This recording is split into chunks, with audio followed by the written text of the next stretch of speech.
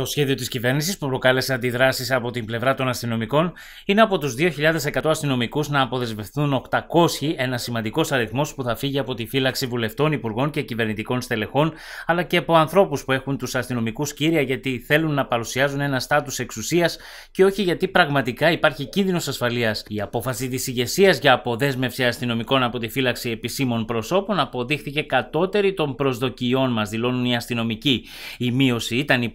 υποτυπώ παρότι οι αριθμοί των μετακινούμενων που δόθηκαν στη δημοσιότητα είναι κατά πολύ υψηλότεροι από τους πραγματικούς. Δεκάδες αστυνομικοί από τα αστυνομικά τμήματα, από τη Δίας, από τη Ζήτα, από την Όπκε να απασχολούνται συνεχώς ε, στις επισκέψεις επισήμων, ε, στις εκδηλώσεις επισήμων, στη φύλαξη οικειών και κτηρίων επισήμων. Οπότε εκεί ήταν, ε, αυτός ήταν και ο λόγος έκδοσης της ανακοίνωσής μας. Όπως τονίζουν οι αστυνομικοί, οι αποδέσμευσεις συναδέλφων τους από επίσημα πρόσωπα δεν μπορούν να αποδώσουν εάν δεν γίνει παράλληλη αποδέσμευση αστυνομικών από τη φύλαξη ευπαθών στόχων συναφών προς αυτά. Εμείς αυτό που ζητάμε είναι να γίνει μια ουσιαστική αναθεώρηση του τρόπου φύλαξης των επισήμων και των στόχων γενικότερα, γιατί μέσα στου, και οι επίσημοι μέσα στους ευπαθείς στόχους συγκαταλέγονται,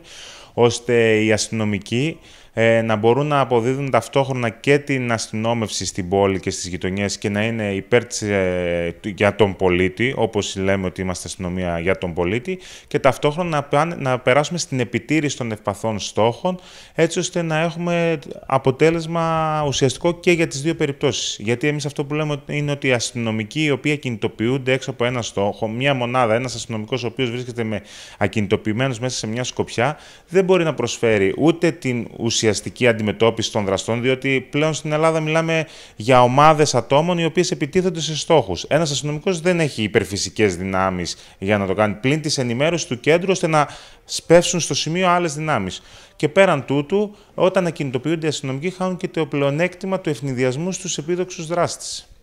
Οπότε με αυτόν τον τρόπο, αν, αν πούμε ότι αποδεσμεύονται, αλλάζει ο τρόπος φύλαξης των στόχων και αποδεσμεύονται οι αστυνομικοί από τους σταθερούς στόχους και τη φύλαξή τους και περνάμε σε αστυνόμευση με εποχούμενες και πεζές περιπολίες, όπου θα αυξηθεί ο αριθμός εφόσον θα απεμπλακούν από το συγκεκριμένο τρόπο φύλαξης, έτσι θα έχουμε και ουσιαστικότερη αστυνόμευση και καλύτερο